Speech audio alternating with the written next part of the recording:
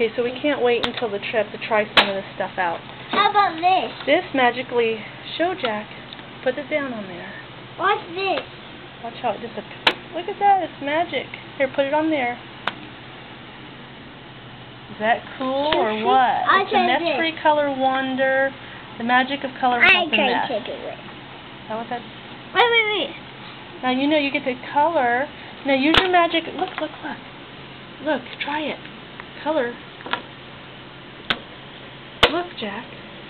When you color it, look at Jack. Look what I'm doing. Look, it's like Yes, white, it but then it turns yellow on here. So color some of those little critters, and let's see how it goes. Brendan, pick a color and color that. pink! No, because I'm using my own marker. It's a coloring pad. Okay, honey. Well, we'll look at yours in a minute. Can I open the? Will you open the pink for me, Jack? Yeah. I wanna I'm see gonna that. cut it open. All right, you can cut those markers. Brendan's gonna try something else. Okay, so let's see. Ooh, look, it's like magic. It's white, and then you color, and it makes makes the color show up on there. So you can. So I guess it only works when it's used on this paper that has a different kind of texture. Probably so you don't get pink on the car seats in the van or on your hand, huh?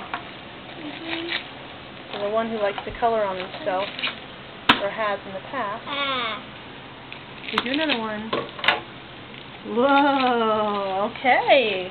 Okay, We're going to see what Brendan